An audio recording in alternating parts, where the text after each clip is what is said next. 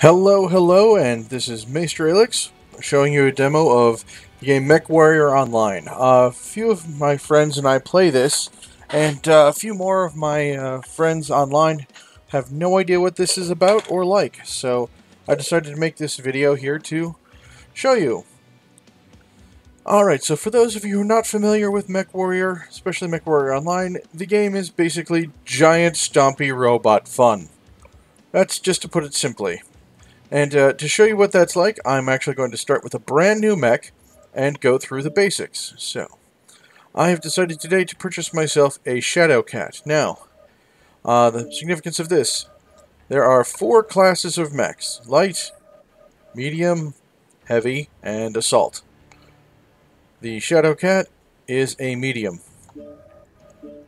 Now with there are different models of Shadow Cat. The Prime, the A, the B, the C, the uh, the P, the C, and the H. Now, uh, without going into many of the specifics, basically it's different abilities and different loadouts. Now, what makes this uh, this one better or different is it is a not a battle mech, but an omni mech, which means we can trade out some of the parts wholesale. So even though it says, if you look here on the screen that just popped up, on the top left corner it says hard points and it says ballistic 0, energy 1, missile 1. It means it only has a place for two guns, one ballistic type and one missile type. But because it's an Omni-Mech, we can change that around. So I'm going to buy this using my in-game money. And there we go. I will purchase. Yes. So, now I'm going to go back home and select it. So, close me down my assaults. This is a gargoyle, by the way. Uh, yeah. So, go to my new Shadow Cat. So, this is a brand new, out-of-the-box Shadow Cat. Uh, being medium, they are that some mediums can be quite fast, some can have other special tricks, but let's go into the mech lab where all, for me, half the fun of the game is had. Uh, column.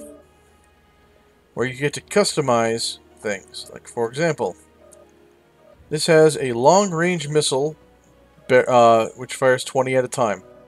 I can take that off and you can see things change. And on its right arm, I have a heavy large laser which is the long-range beefy laser, which has had its range reduced, but the damage increased. So, there we go. But let's go back to the expanded view. Uh, this is a lot of big, scary, complicated stuff, but we're going to make it easier by taking it all off. So, first place I always like to start is with the armor. At this point, there is no reason not to give yourself the maximum amount of armor like I said, at this point. Now, as you see here, this uh, this has an armor enchantment on the left arm. It has more armor, and the reason why is because this arm has the gun. When you're playing, people like to do this thing called a torso twist. You turn in a more armored part of your mech towards the enemy. So that left arm is considered a shield arm. So if up to the armor to max on all the areas that have just the one. The areas have two, there's a front and a back. So we will... Uh, I have a little formula that I like to use. Okay, so this is a 45 ton mech. So I want at least four. And then the max is 56, so I'm going to add five more because for the, you know, four tens and five tens. Okay, so it's 9, and then that's 4 and 4, so these get 8.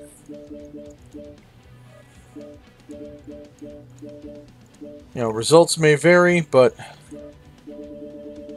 y'all can do what y'all want. But that's what I like to do.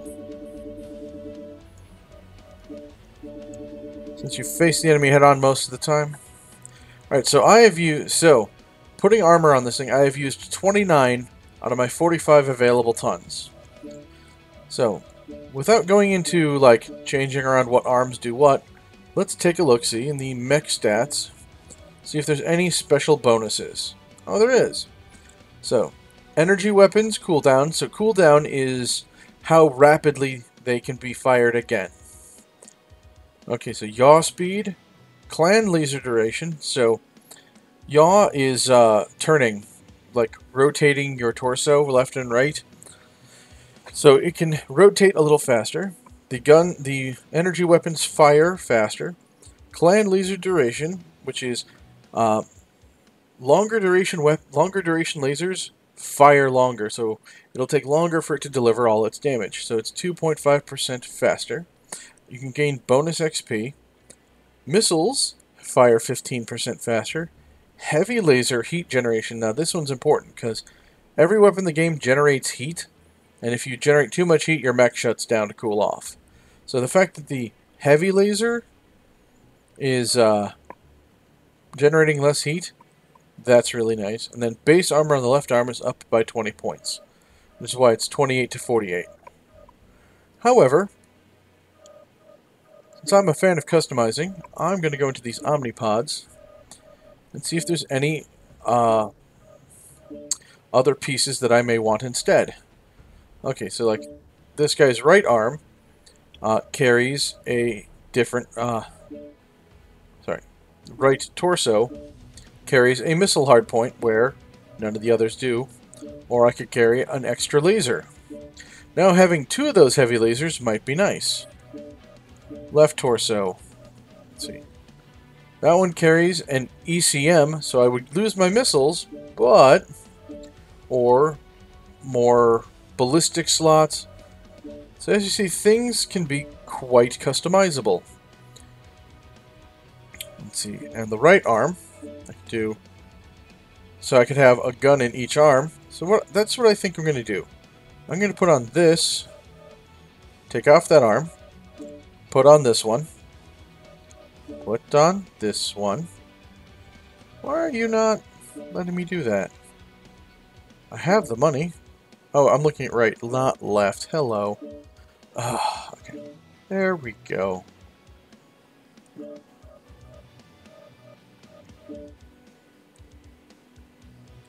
And if we take off that left torso for the one that gives me stealthiness, that could be quite nice. Alright, so... And none of the legs carry ammo, but that's fine. So what you see the legs I have, so there's a hip, upper leg, lower leg, and foot actuators. Basically lets the legs move like legs. And then jump jets. This lets me hit the spacebar and jump. Alright. So I've got two. now sometimes when you trade out parts you lose bonuses but energy range heat heat ER laser generation or heavy laser generation has maintained and laser duration. So I have uh, heavy laser heat so let's see. Heavy lasers of which I've got three choices heavy are uh, large medium and small. I already own a large, but they do take up four tons each, so they might be a little, uh, they, let's see. Looking at the stats. Alright, going from the top down. Can I do this uh, without... Ah, no, okay. So I'm going to have to leave it there. So type energy weapon. Takes three slots on the mech, which I'm pretty sure you can all figure out there. Uh, weighs four tons, which is very heavy. Uh, let's go to like the ER heavy the, or let's just go by weight. So energy weapons go from quarter ton, half ton, one ton, two tons, four tons, and six tons. So, yeah. So, the heavy laser, the heavy lasers are indeed more heavy. But the damage is 18, which is really good. Heat, which has been slightly reduced. Uh, cooldown 5.75. Uh, the cooldown bonus I had previously has been removed, so they'll still fire one every 5 and 3 fourths seconds. Duration uh, 1.55 seconds, so it takes nearly it takes just over a second and a half to deliver all the damage. The maximum range is 900. The optimal range, which is uh, where it will deal max damage, is 450 or less. And has a health of 6, so it won't blow up until it takes 6 damage, but generally we don't have to worry about that. So, first thing though, so let's see if we can get away with not ER, heavy. Alright, we got 37 out of 45. We're going to bring that down. And then we're going to go over to the equipment.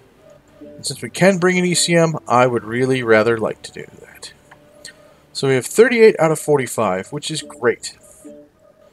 So, since we don't need to carry any ammo, since energy is the only kind of gun that does not generate ammo, or does not need ammunition, we're going to do, we're going to want to beef this up. So, options include probes, targeting computers, or the very important heat sinks. The thing about energy weapons, they generate the most amount of heat in the game. If you look down here, my heat management, uh, it's rated on a scale of 0 to 2. So at this point, 1.34 is not bad, but it could be better. So I'm going to put one heatsink into each arm. And you see the heat sinks take up two slots, but is one ton and that brings it up to 1.43. And the reason I put it in the arms, now a lot of people put it in the torso. The reason I put it in the arm is if I get the arm blown off, I'm not going to need the extra heatsink anyway. So, okay, maximum armor. Alright, so, what, what these probes do is increases sensor range, speeds up targeting data, and can detect shutdown mechs at close range. And the uh, uh, the heavier one, the full-size one, is better. So 15% bonuses, 25% bonuses, 90 meter range, 150 meter range. So that's really nice. Targeting computers increases um, auto cannon, except for shotguns, PPC projectile speeds, laser ranges, so this will increase my range, and critical hit chances. Increases sensor range, zoom, and speeds up targeting data. So, both of those things would really contribute to me being able to shoot farther, farther and better. So, since I only need one, I'm going to put the active probe with the ECM. And I'm going to put, uh, oh heck, why not? A full-on targeting computer Mark IV. So, my zooming in is better. My sensor range is 5% longer. Targeting time boost is 53% faster. My beam range is 7% longer, which is really good. And a the critical chances are 1, 5, and 3%. So previously they could not crit at all because uh, that's critical chance is pretty rare. There are game there are weapons that specifically do that generally. So the fact that this actually has any, albeit low chances, is still good. So let's see. Now the range has been oh we'll we'll see that in here. So we're at 44.9. So if we could, if we wanted to, we could. Uh, see, is there anything that's only, you know, half a ton? Not really. Is like a Mark Four, Mark Five. We would not have the space for. So yeah, right now this is a very basic, very close to ideal tonnage thing and it's going to cost me a pretty penny, but since I have uh, about four times more than I need, let's go do with it. Go do that. Alright, so that's the loadout. Skills. Now, I warn you all, the skill tree may look the skill trees may look intimidating now, but they're not that bad. Alright, so first, one, two, three, four, five, six, seven overall skill trees. And each has dedicated to a special thing. So auxiliary is in the game you can give yourself consumables, which I should go back in my loadout and put in at least one. And these make the consumables either more numerous or work better. Sensors. Okay, so we can just look. Target info gathering speed. Uh, this finds enemy. Target decay. If you lose, if you're not pointed at the enemy, how long before your computer forgets? Targeting retention, you know. All of this stuff is basically explained in the title, and if not, if you look in the lower right hand corner, it will, you know, let you know. So sensors increases the sensors, operations, quick ignition, start up faster, improve your uh, gyros, is uh, reduced screen shake. Heat containment increases the maximum heat threshold before your mech shuts down. So that you know, that's pretty good. All of this is basically quality of life. Make the mech run better overall. And that's why it's in a general tab. Jump jets. If you have jump jets and you want them to work better, you work on this tree. Mobility. Similar to operations and, ma and making the mech work better, but this is all making it move better. Okay, survival. Uh, yeah. Improve armor, improve structure, improve just not dying. You know, uh, fall damage, etc. And then firepower tree, the great big tree, is to make your guns better, increase the range. Uh, you know, and then there's a few specialty ones like missile spread over here or laser duration down here. So basically, you got ballistics over here, missiles over here, and then lasers are a little scattered. You got one there. Uh, oh, just the one? Okay. See, one thing I would want to do is go for this laser duration. But since I have no skills right now for this mech, since I have not used it, I won't worry about it. So like I said, let's go back to loadout.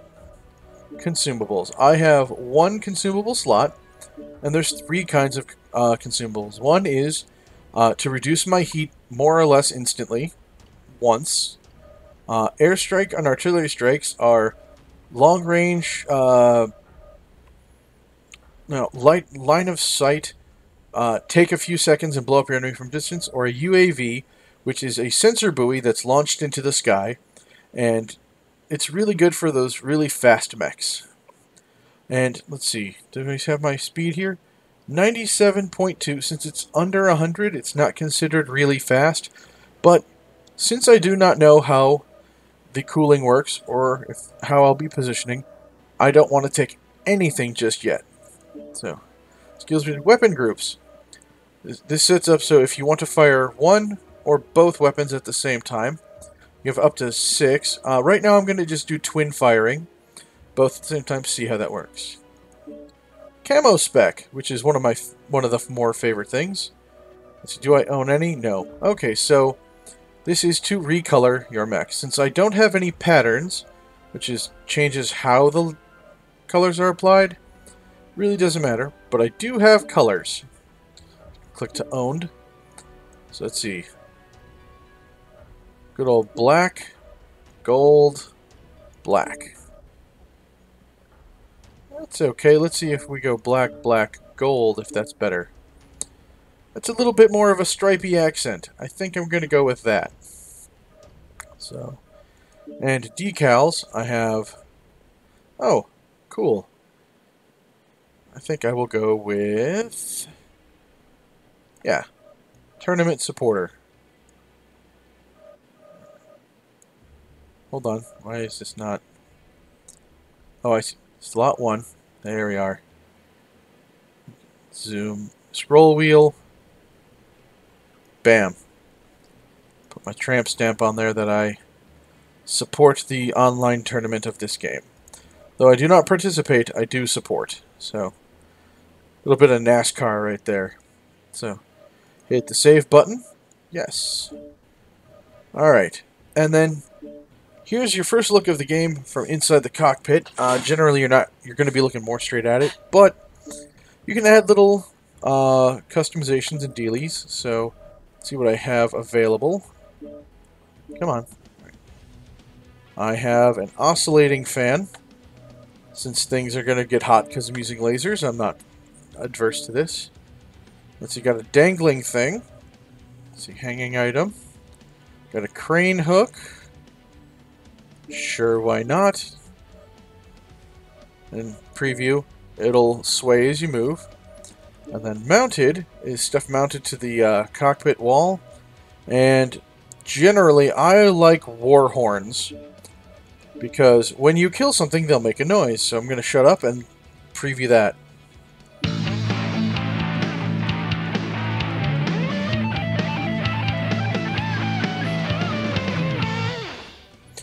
Oh, right. That's why I took that one off. It lasts forever. So, give me give me an example. Uh, this is more common.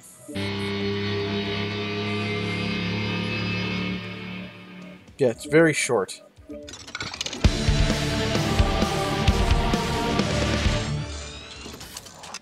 Yep.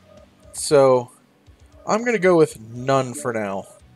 Now, uh, getting these things, if you see uh, the price is all listed in the yellow gold currency. That is the buy for real money, though you can earn them in game through special events and the like. So you're not you're not totally screwed if you don't want to spend money. Now, if you see, I have 972 gold monies. So if I really wanted one, I could get one. So is there any on sale? No. But, you know, should I want one for some reason, I could. But since it's a brand new mech, and I do not yet know how if, if it is worthy of spending money, though going with that yellow theme, and the uh, radio is new, so. Nice shot.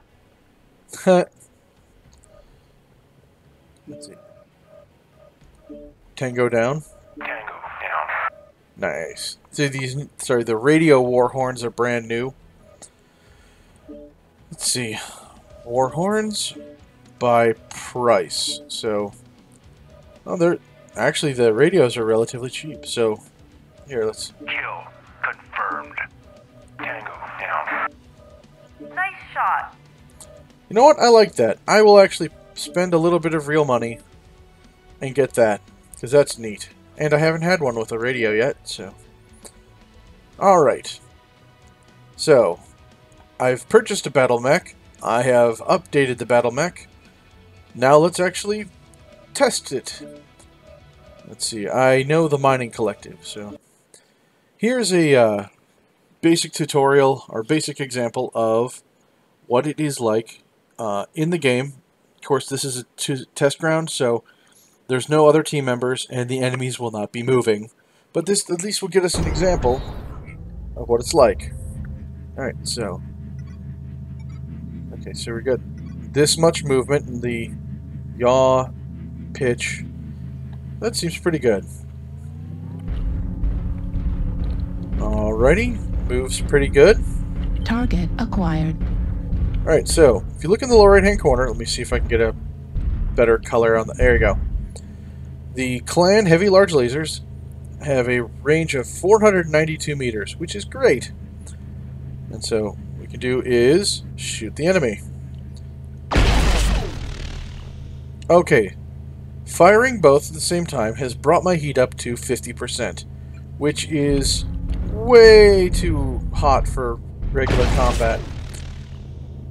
So I'm probably going to want to fire these not as linked, but as opposite. So I will change that up so I can go one, then the other. Alright. That's slightly more controlled. There we go. Slightly more controlled. So this is why we go into the testing ground and check things out so you don't accidentally, you know, do something stupid.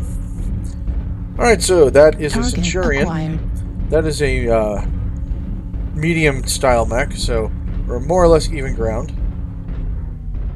Now, as you as you learn to play, you realize that the Centurion's arm there is a literal shield arm.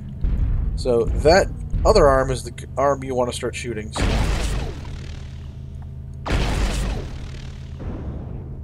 Yeah.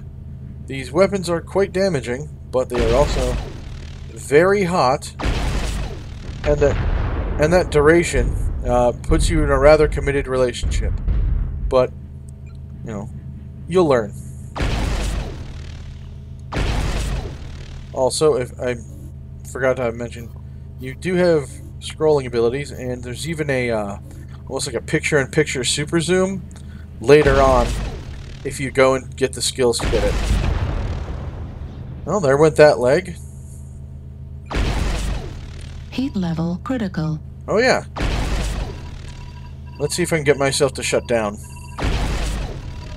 Yep. So when you have too much heat, you shut down. Now, depending on how much heat depends on how long you shut down. You really overdo it, and Target destroyed. you could be there Heat for level critical. you could be there for quite some time. And if you look in the uh, paper doll in the lower left-hand corner there, see that yellow on my torso? That I have damaged myself from overheating, which is, you know, not fun. So let's see if I can get a uh, get a good kill or something on while moving, because just standing there is not how the game works. Target acquired. It's Jenner, it's a nice light mech, so yeah. Target destroyed. There we go. Those are one of the fastest, most nasty things in the game. They, they're not usually terribly well armed, but dang are they fast. Oh, and let's check out my jump jets. So, where you're really looking is on the le on the main control panel on the left, next to the uh, your your uh, throttle there, Target acquired. and the fuel used for your jump at jets. 25%. But don't don't worry, that does re that does refill. So this is an Atlas. It is an assault mech. It is the biggest walking tanks in the game. They are slow, but my god, can they bring the destructive power. So whenever possible, you want to shoot him in the back because, as you saw, you don't put nearly as much armor on the back Target destroyed. as you do the front. Now, as you saw earlier, when I was Target pelting guys from the front, it took many more salvos than that. Where the, you know, Atlas, the big scary guy, took a whole lot more. So there's a catapult a good distance away. So I want to get to at least 492, or else, you know, while I'm hitting, I'm not doing nearly as much damage. I I'm more or less spitting lasers at them. Actually, I can jump this. Hello. Hello! Mickey Mouse mech. Cut your arms off. Once these guns reload. There we go. Heat level critical. Yep. Heat level critical. So I'm gonna have to wait just a moment here before I do that again. Heat level critical. Or else I'm gonna do that.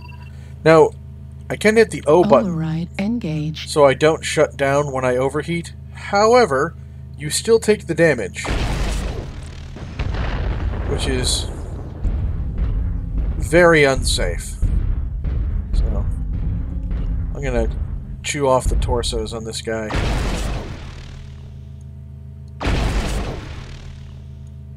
Or if I want to be smart, I can just go for the cockpit shot. Or is it that higher one? That's the one. Heat level critical. Yeah. Should you... Yeah. As you saw in the mech lab, the head does not have a whole lot of armor. So if you can actually get a cockpit shot, that's usually kind of amazing. Target acquired. Heat level critical. Heat level critical. There's a nice little cicada. Another one of those annoyingly fast mechs. Heat level Nice critical. shot. Nice. But yeah. Well, right after this, I'm going to get into this mech and record a battle or two. And you are all welcome to join me after that. So, I hope you all enjoy, and I will see you in the game if you'd like. Uh, in the game, I am A-E-L-I-X. You know, really, really surprising. Uh, I do play for the. Cl- uh, there's two major Target factions in the game: acquired. the clan and the inner sphere. I am a clanner. So, if you wish to, f- if you wish to fly with me, I will happily, I will happily let you, or happily join you in these battles. Come on. Target destroyed. So yeah, as I play this, as we play this mech more, we can earn skill points and improve things. Get that heat man more manageable. Get the fire rate higher, though that will also increase the heat. Yada yada. So. Anyway, thank you all for joining me, and I hope to see you in flight. Battle well.